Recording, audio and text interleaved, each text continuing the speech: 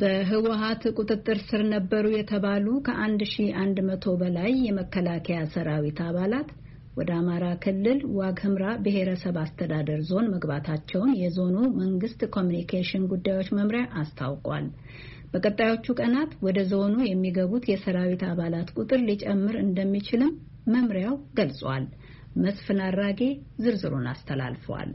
የመምሪያው ኃላፊው ጳውሎስ በላይ እንዳስታወቁት በሰሜን እዝ በተለያዩ ክፍለ ጦርና ብርጌዶች ስር የነበሩና በህወሀት ታግተው ነበር ያሏቸው ከአንድ ሺ በላይ የመከላከያ ሰራዊት አባላት ጫካና በረሃ አቆራርጠው ወደ ዋግምራ ብሔረሰብ አስተዳደር ዞን ሰቆጣ ከተማ ገብተዋል። ወደ ዞኑ ከገቡት ውስጥ በረሃብና በውሃ ጥም የተጎሳቆሉ በህመም የተዳከሙና በጦርነቱ የቆሰሉ እንደሚገኙባቸው መምሪያ ኃላፊው አመልክተዋል። ወደ ዋግምራ ብሔረሰብ አስተዳደር ዞን የገቡትን የመከላከያ ሰራዊት አባላት ህብረተሰቡና መንግስታዊ መዋቅሩ አቀባበል እንዳደረገላቸው መሆናቸው አስረድተዋል። የብሔረሰብ አስተዳደሩና የአብርግሌ ወረዳ እየመጣ እንደሆነ ለብሔረሰብ አስተዳደሩ ሪፖርት ሲያደርግ ኮሚቴ ተዋቀረ። የከንቲባ ጽሕፈት ቤት በበላይነት እንዲመራው ተደርጎ አንድ ትምህርት ቤት ካምፕ ተዘጋጀ። ህብረተሰቡ ትላንት አሁን በሬ ተዘጋጅቶ ሁሉም ሰው ከየቤቱ ያለ የሌለውን የሚገርመው ትላንት ሀያ አንድ እኛ አካባቢ ህዳር ጽዮን ጸበል ይጠጣልና ጸበል ያላቸው ሰዎች የቤታቸውን ድግስ ሳይቀር ነው እስከነ ጎላ ወጡ ወደ ካምፑ ይዘው የገቡት ማለት ነው እና ህብረተሰቡ በጣም ጥሩ እንክብካቤ እያደረገ ነው ያለው። ብሔረሰብ አስተዳደሩም የውሃና ሌሎች ነገሮቹን በጎደሉ በጎደሉት ይሞላል። አስቸኳይ ድጋፍና ሕክምና የሚያስፈልጋቸውንም ወደ ሕክምና ተቋማት የማጓጓዝ ስራ እየተሰራ ነው ብለዋል። በጣም የተጎሳቆሉ ስላሉ ለሚመለከተው አካል ክልልም ፌዴራልም ጋር ተገናኝቶ አብዛኛው የመጣውን አሁን ከትላንት ማታ ጀምሮ አውሮፕላን ወይንም ሌላ ሄሊኮፕተሮችም ሊሆኑ ይችላሉ ወደ ፌዴራል ይወስዱና በጣም ስለተጎዱ ወለ የወባ የታመመ ታያለ። በጣም ያስደነግጥ ቁስለኛ ታያለ እና ይሄ ይሄ ለሌላ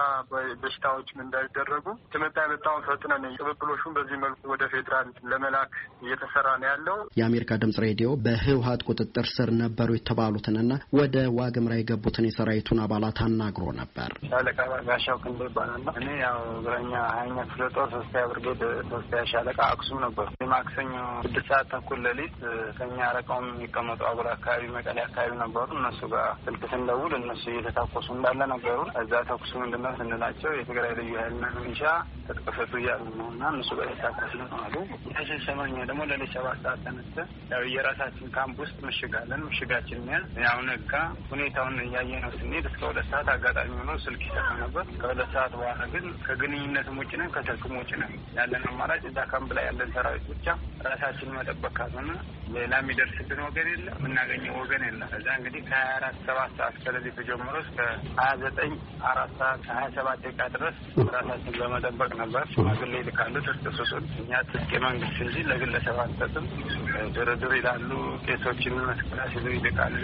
እኛ ደግሞ ያው ወገን እስከሚደርስልን ድረስ እድሜ ለማራዘም ያው የተላኩ ሰዎች ጋር እየተነጋገርን ቆየን። በዕለት ሀያ ዘጠኝ ግን አራት ሰዓት ከሀያ ሰባት ደቂቃ ላይ ወደ እኛ ሞርተር ተወረወረብን ማለት ነው። ያው ባለ ሁኔታ እኛ ምሽጋችን ይዘን ሰራዊታችን አጠናከር ብቻል።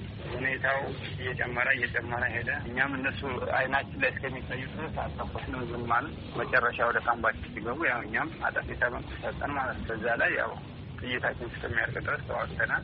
የሚዋጉበት ጥይት በማለቁ በህወሀት ወታደሮች መማረካቸውን አስታውሰው አሳዛኝ የሚሉትንም አጋጣሚ እንዲገልጸውታል። በቃ በጣም አሳዛኝ ለኛም ስሙ ጸጸት የሆነብን እጅ ከሰጠ በኋላ የገደሏቸው ጓደኞቻችንን ነው። እዛው ፊታችን ላይ የረሸኗቸው ማለት ነው። እንኳ ባለሁበት ሻምበል አራት አባላትን ረሽነዋቸዋል። እዛ ፊታችን ላይ ሁለት ደግሞ ቆስለዋል። የፌዴራል መንግስቱ በህወሀት ላይ ወታደራዊ እርምጃ መውሰዱን ተከትሎ በቁጥጥር ስር የነበሩት የሰራዊቱ አባላት እስረኛ ሆኖ ከቦታ ቦታ መጓጓዛቸውን ጠቁመዋል። ከተያዝን እስካሁንም ያው ስንሰቃይ ነበረ። በየቦታው እየቀያየሩን የኛ ሰራዊት ሲደርስባቸው አርቀው ያስቀምጡናል። እንደ አክሱም ነበርን ዩኒቨርሲቲ ውስጥ። ከዛ በሽሬ ያለው ወደ እነሱ ሲጠጋ እነሱና ተንቤን አመጡን። አብይ አዲ እዛ ኮሌጅ አስቀመጡን። ኮሌጅም ተቀምጠን ደግሞ ሮኬት እኛ ስር ተክለው የእኛ ሰራዊት ወደዛ ሮኬቱ ለመምታት ሲል እኛ ጋር ከባድ መሳሪያ እንዲያሳርፍ ያልተደረገ ነገር የለም። አሁንም ደግሞ ስንመጣ በረሃ ነው እንግዲህ ቆሻሻው ስለ የደፉን ማለት ነው። በከብት ጠባቂዎች አቅጣጫ አመላካችነት ከተከዜ በረሃ የሰባት ሰዓት ተኩል የባህርና የየብስ ጉዞ አድርገው ወደ ሰቆጣ መግባታቸውን የሰራዊቱ አባል ይናገራሉ።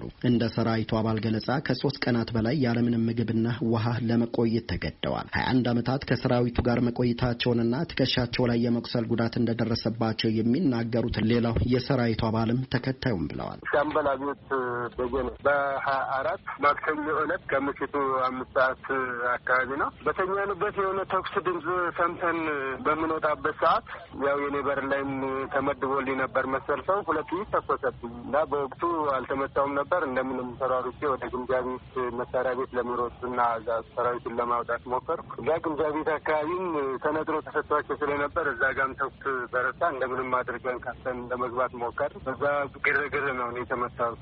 ራሳቸውን ከሳቱበት ሲነቁ የቆሰለ ትከሻቸውን ባልደረቦቻቸው እንዳሰሩላቸውና በዚያው ቅጽበት በህወሀት ሰራዊት መማረካቸውን እንዳወቁ ተናግረዋል። ሀያ ስድስት አካባቢ የተጎዱ አሉ ተብሎ ውቅሮ ሆስፒታል አስገቡ። ከዛ ውቅሮ ሆስፒታል የተወሰነ ዘጠኝ አስተያዘን ቆየው እና በወቅቱ ውጊያው የኛ እያጠቃ ስለነበር ወደ ሽሬ አካባቢ ሲገቡ ዛላምበሳና ወደ አዲግራትም እየተቃረቡ ስለነበር ቦታው ቅርብ ነው ብለው ወደ መቀሌ አሸሹ። ከመቀሌ ደግሞ አሁንም ከተወሰነ ጊዜ በኋላ ወደ አብያዲ የሚባል ቦታ ወስደው ደበቁኝ ማለት ነው። ከብዙሀኑ ጋር ያው እያሳፈሩ በረሃ ላይ ሲጥሉ ነበር እና በተከዜ ግድቡ ጫፍ ላይ በዛ ተቀላቅዬ ወደዛ ገባው። እዛም በኋላ ያው በእግር በጣም ፈታኝ ጉዞ ነው።